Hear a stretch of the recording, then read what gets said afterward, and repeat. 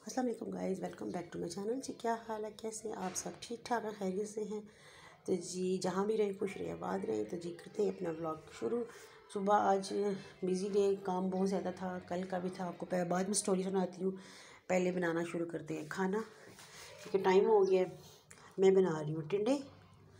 और टिंडे के लिए बस मुझे इतना सा सामान चाहिए। और साथ साथ टिंडे बनाते हैं और साथ साथ आपको दिखाती हूँ मेरे पास इसमें ऑयल है और इसी में मैं बना हूँ। क्योंकि टिंडे की सब्ज़ी थोड़ी सी बनेगी। तो देखिए, ये हमारे टिंडे ग्रीन टिंडे ग्रीन टोकरे। और प्याज मैंने रख लिया सब्ज़ी मैंने काट ली है।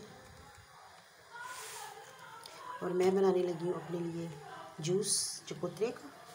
तो दिखाती हूँ आपको कि मैं कैसे बनाती हूँ। मेरे पास चकोतरे की मशीन तो नहीं है। ऐसे मेरे पास तो डबल जूसर है, लेकिन पता नहीं इसमें जूस बनता है कि नहीं बनता। पता नहीं। कभी ट्राई नहीं किया। देखते हैं। बनाते हैं। तो सुबह ने नाश्ता थोड़ा सा ज़्यादा किया आज। और नाश्ता थोड़ा ज़्यादा किया कि मैंने ना ब्रेड आपको पता मैं लेती हूँ डेली और साथ में मैंने दो तीन वाले एक्स्ट्रा हाफ़ रोटी के भी खाए। तो वो थोड़ा ज़्यादा हो गया तो इसलिए मैं इससे अपने थोड़ा सा कैलोरीज करूँगी कम।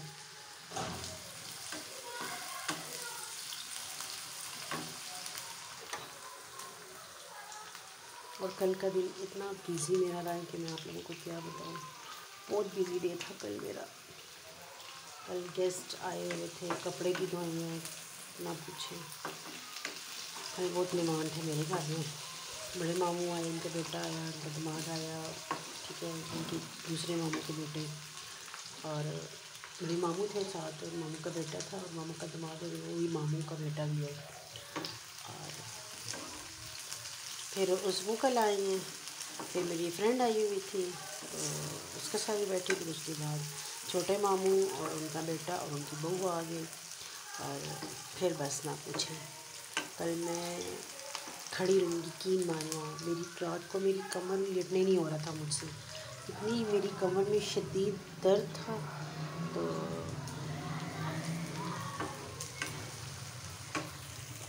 सब ब्राउन कर तो आपको बताया था कि मम्मी के पोते का हकीक क्या है? उसके लिए फिर ज़रा बड़े मामू तो आए थे अम्मा के पोते को मुबारक देने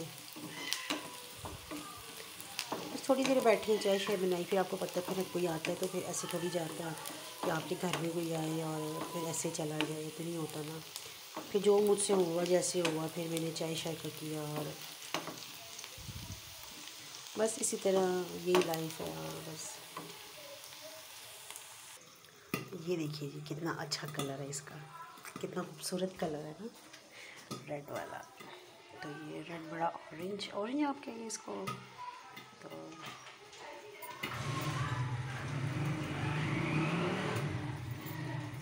उसका जूस निकालती हूँ। तो ये देखिए जी, मैंने अपने लिए जूस निकाला है।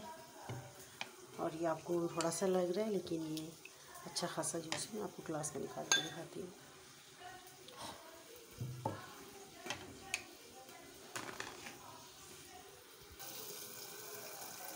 ये आप देखिए, ये मेरा जूस निकला है। मुझे आपको कैसे नहीं दिखाऊँ?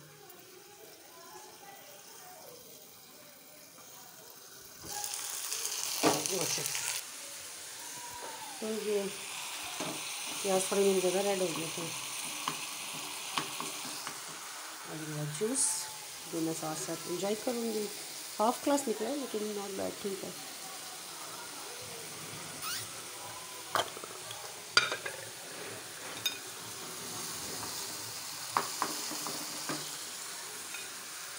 इसके पीने के बाद ना मेरा बीपी लो हो जाता है। इसलिए मैं हाफ़ ग्लास ही लेती हूँ। और,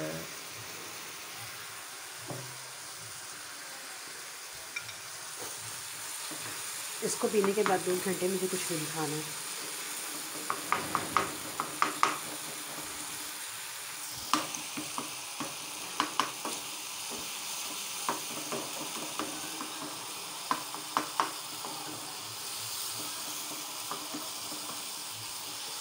किंडी किस किस को है सबसे पहले तो मुझे कमेंट्स करें लाइक करें सब्सक्राइब करें और शेयर करें।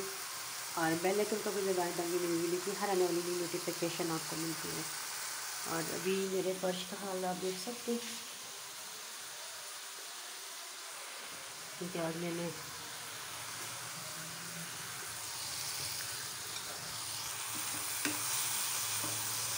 तो आपको बताया था कल हम लोगों ने कहीं जाना भी है, मामू को रहा ठीक है। उसके लिए मैंने अभी इतनी कोई तैयारी नहीं की है। और लाइट आज इतना तंग कर रही है।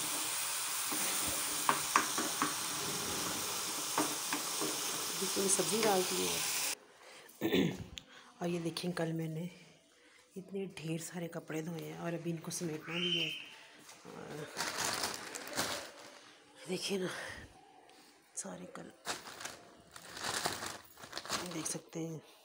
बेड की चादरें मेट्रस कवर मैंने कल चढ़ा दिया था। कुछ यासीन की कोट वगैरह है अपर कोट है। और ये कुछ मेरी क्रीमें भी रात की इधर ही बनी हुई हैं।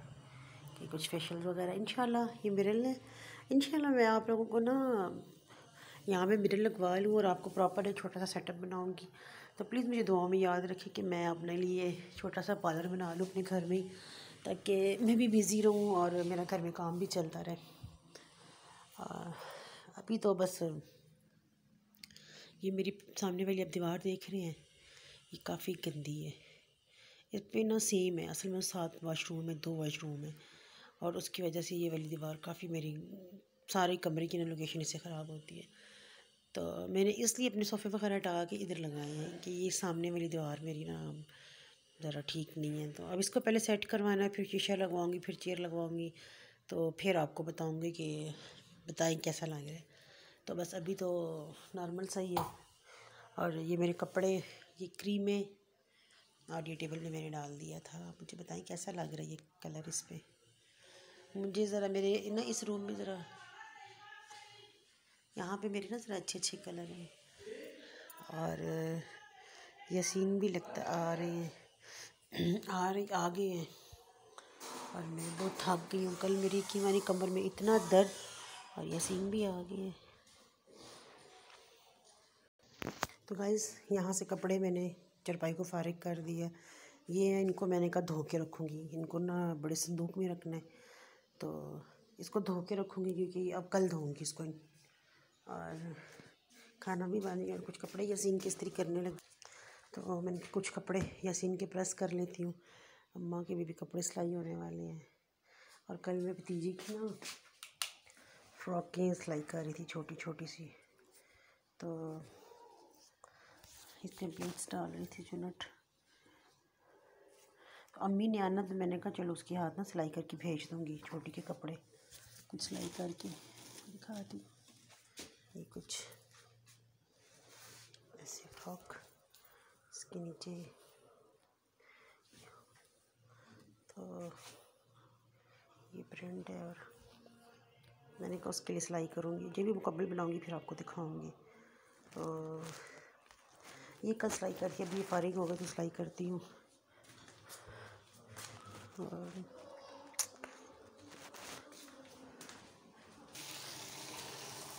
सब्ज़ी मेरी तैयार हो गई है। कल मैंने पुलाव बनाया था सारन पड़ा हुआ था, अम्मा ने वही खा लिया। ये सीन आए थे और वो चले गए।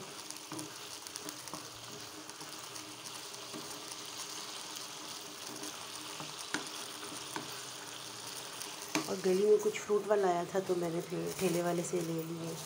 अमरूद लिए हैं और कुछ मॉल्टे लिए। तो इसी टोकरी में निकालती हूँ।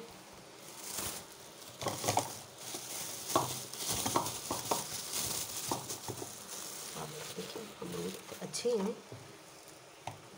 अमरूद लिए हैं। और मल्टे लिए हैं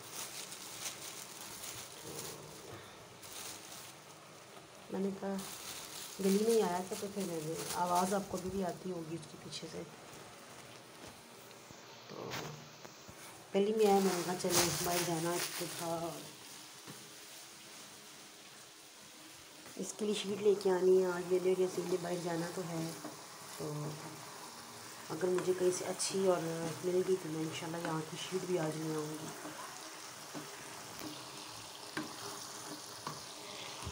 सारा मेरा प्यार है। जैसे तीन, साढ़े तीन, चार बजे तक आएँगे, तब तक मैं थोड़ा सा अपना काम कर रही थी, कुछ जैसे कपड़े प्रेस करने हैं। और मेरे कल भी गेस्ट आए हैं तो घर में बिस्किट्स वगैरह सब चीज़ें ख़त्म हुई हैं, और कुछ निमकोज वगैरह, और वो भी लेके आऊँगी। तो पता है, घर में कुछ ना कुछ ख़त्म ही रहता है, यकीन माने आप, कभी भी ये नहीं होगा कि आप घर में चीज़ें पूरी हों कुछ ना कुछ ख़त्म ही हो जाता है। घर अभी खाने से बस बारिक होती हूँ ना तो सारा दिन मेरा काम ही गुजर जाता है, सारा दिन कहने को हम तीन लोग हैं, लेकिन हमारा काम दस बंदों वाला है। मैं ये होता है ना, फिर सारा काम एक ही दिन पे रख लेती ये नहीं कि नहीं ज़्यादा आज कर ज़्यादा कल के छोड़ लिया। नहीं, हिम्मत हो तो मैं कितनी के बस सारा ही चल। अब ये कोट पड़े हैं, अब मेरा दिल कर रहा है कि मैं इनको आज ही वॉश करूँ और आज ही इनको रख दूँ। ये असल मेरा दरवाजे के पीछे हैंग हुए थे, मुझे देखा ही नहीं था ड्राइंग रूम पे।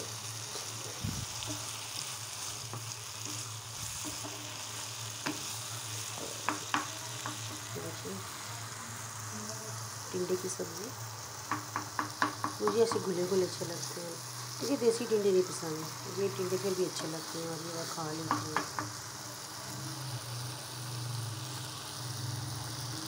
ये टिंडे मुझे पसंद नहीं। अभी तो मैंने ऑयल कम किया हुआ है, लेकिन ऑयल कम ऑयल में बनाए हैं।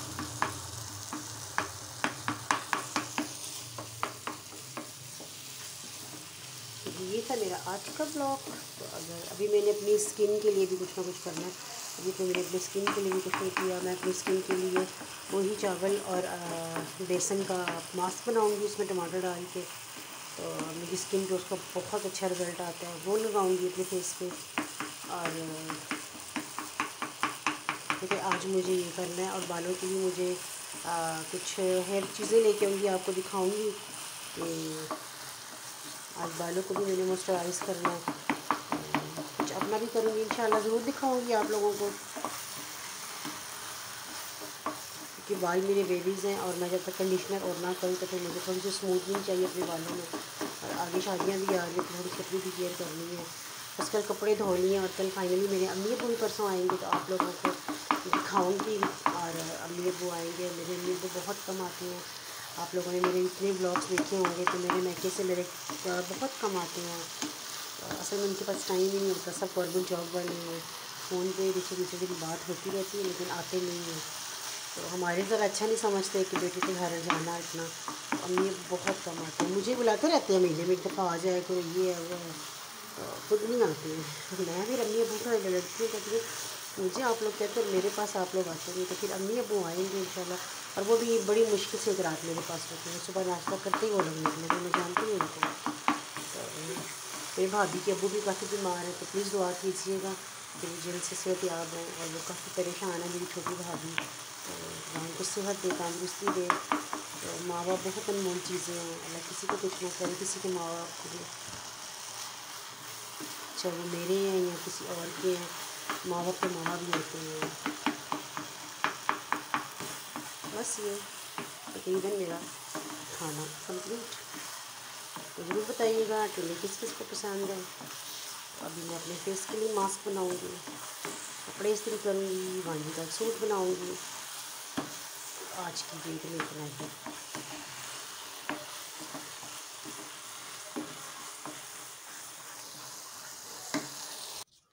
मैंने ना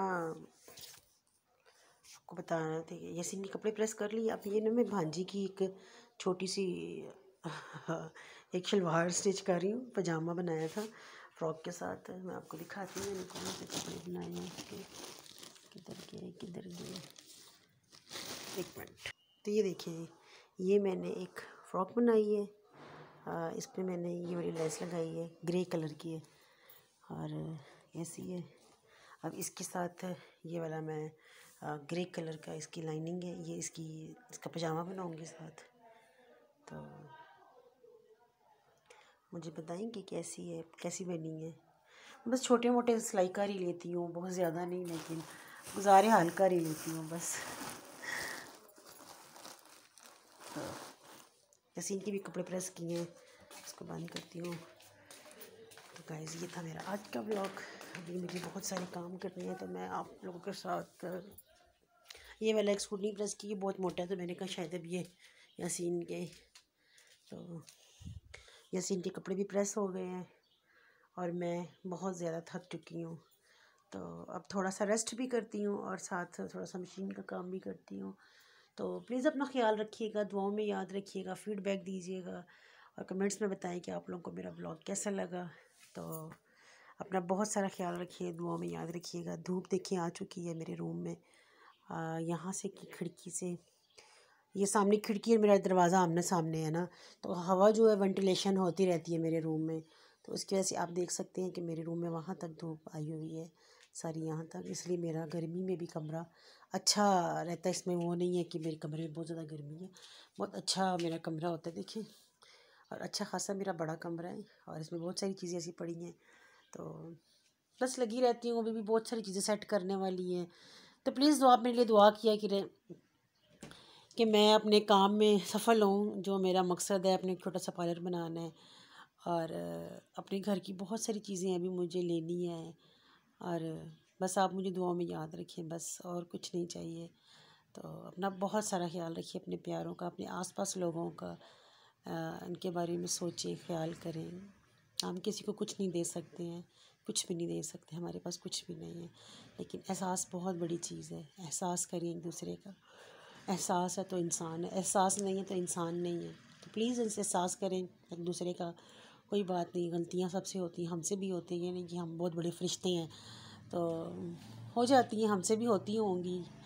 और लेकिन कोशिश करते हैं कि ना हो, अगर हो तो अपनी गलती को मान लेना चाहिए हमसे ये हुआ है। तो कोई बात नहीं है। और माफ़ करने वाला सबसे बड़ा होता है। अपना ख्याल रखिएगा। मेरी बातें बहुत ज़्यादा होती हैं, बहुत लंबी होती हैं, आप फिर बोर हो जाएँगे। आप कहेंगे, इसका तो व्लॉग ये बातों में ही होता है। तो प्लीज़ आप बस सुन लिया करें और मेरी वीडियो को ज़रूर देखा करें और अपना बहुत सारा फिर एक दफ़ा ख्याल रखिए। Bye bye.